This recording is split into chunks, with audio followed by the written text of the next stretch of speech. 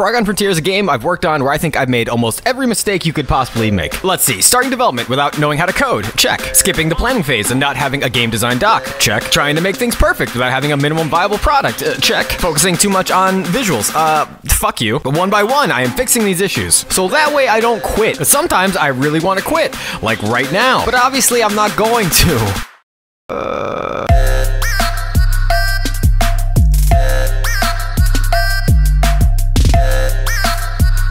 Okay, all memeing aside, last I left off, I really needed a game design doc. Something I could turn to when questions crop up, because even though you think your concept is really well thought out and clear, it really never is. There's always something you're forgetting, and the design doc will help me stay on track. So I spend a couple solid days doing this. And while all this is happening, I realize I'm gonna have to make big changes to the gameplay of Far Gone Frontier. The moment-to-moment gameplay is still the same, it's still gonna be a top-down shooter, but there's a few decisions I made early on in game development because I was afraid, and honestly didn't really know how to code, that over time it sort of built up in the background and I always knew made the game less fun. The exact issue I'm talking about we can refer to as the room dilemma. When I first started Far Gone Frontier, I was afraid of literally everything in coding. So afraid, in fact, that I made it so the whole game took place on one screen. But it wasn't deliberate. I didn't make these choices because I thought Vampire Survivors was a great genre and I was gonna make something like that. And instead, it was more like, I wish I could do Binding of Isaac, but I'm not that smart. And as time went on, I started to add these little Binding of Isaac type elements to my game, like these random secret rooms or these areas off to the side. But the problem was, I really never liked the idea that you just fought waves of enemies in one little area. I get that those kind of games can be fun, but it really wasn't something I was after. And I'm sure a lot of you can relate to this feeling, but when you work on something you're not really interested in, well, the, the passion and the motivation sort of dry up fast. So the burning question is, what's the least amount of effort I can put in to fix that? The answer I landed on was a really rudimentary level generation. Well, I say generation, but it's more like curation. What I do is design a couple different level sizes and shapes, then we add them to a list of potential spawnable rooms. Then every time you clear a room and enter through a door, it picks a random one, spawns it in, while also hooking up an exit door so the player can go back. The main thing to note here is that this is a different strategy than generating a floor. Floor generation to me always came across a little scarier, like we're constructing some kind of maze or dungeon. And there's a lot of pressure to make that content fun and not like boring dead ends or just uninteresting gameplay. Because I'm just going one room at a time, all I really have to do is set up some basic rules. Like let's say every fifth room is a shop, or maybe every 10th room is the boss. With this, I'm hoping it's a fair balance between the two ideas. Because the player is clearing rooms and moving on to the next one, there's a sense of progression, but everything's actually kept in a really linear fashion, so I don't get bogged down with dungeon design. Actually, at first, when I was putting this together, I tried to make it way more complicated. I had it so the exit of any of the rooms could be four directions. This was just a bad idea. My thought process was that it was going to be fun because it's more random. That's not the case. It wasn't fun at all. Because I'm letting the player go back and visit rooms for reasons I'll get into, it was a kind of a nightmare to figure out where you came from and where you're going next. At one point to try to solve this, I drew up these signs, and they always point to where the boss room is, but this was not a good solution. Instead, the, the answer was just to make it way more simple. After taking a step back to think about it, I realized that the solution was to have the player always enter from the left and then exit from the right. So regardless of any craziness or confusion, you realize left is always back and right is always forward. This way we establish some level of progress through a dungeon without you ever getting lost. And for now, I'm pretty happy with this level of dungeon building. Although one interesting thing to touch on here is that no levels are being deloaded. And I'm not sure if that's a bad thing and that's gonna come back to bite me in the future. I mean, right now when I work on this game, I use like a, an old 1070 Ti from 2017, paired with some ancient Ryzen CPU. I think I tend to get a lot of leeway because it's all just 2D pixel art. Although people will tell me I could optimize by doing X, Y, and Z, I feel like this way is really easy and convenient. All the loading in of assets is happening when you walk through the dungeon the first time, and it fades to black so there's no visual stutter. But this way, I, I don't have to save anything. So let's say there's a room, and by chance it rolled that there's a secret door there. I don't have to save all that data and then reload the asset later and make sure it's the right secret room on the right spot. Like I said, this, this might be a critical failure of mine to do it this way, but it seems so easy and convenient that we're gonna give it a shot until something goes horribly wrong. Also, you might be wondering, why are all the rooms vertical? This was really simple. I wanted the game playable in Ultra Wide with the least amount of changes to anything I do. So I figured if you could just see infinitely into the abyss on the left and right side, then that's fine. Boom, Ultra Wide solved for. Look how wide it is. Oh, wow, that's amazing. To be fair though, I did learn this when I was doing the single room design. I'm just taking it and reapplying it here. Okay, so I think it's a good time to sort of take stock. We put together these rooms, it sort of gives the player theoretically a sense of progression, but why do we do this? I say we, it's it's just me. I think my brain's broken. It's definitely broken, but I think the answer is I'm chasing this Binding of Isaac style of resource management. It occurred to me that that's what I really am after. That's what I really like about that game. You can play the game normally and go right to the boss, but you have these options to go back and get every little bit of resource out of a floor. Although before I get into those resources, one thing that Isaac didn't have that I wish it did was some kind of fast travel. I noticed that was something Enter the Gungeon did really well, where you would just bring up a map and go to where you've already been. So for Far Gone Frontier, I realized that that would be the best solution. That way you're not spending all this time walking backwards through the dungeon. For now, I just set up these really simplistic icons, which would be really nice to expand upon so we can see what each room has in it. But without getting too far ahead of myself, I think it's a good place to start. And it works really simply. Whenever you go into a new room, it adds a new room icon to the map. And then as long as there are no enemies on the floor, it lets you fast travel to any of the previous locations. I even make a separate icon for when there's a utility room in the top. And you might be thinking, what's a utility room? I'm glad you asked. It's finally time to add fun little crazy rooms to Far Gone Frontier.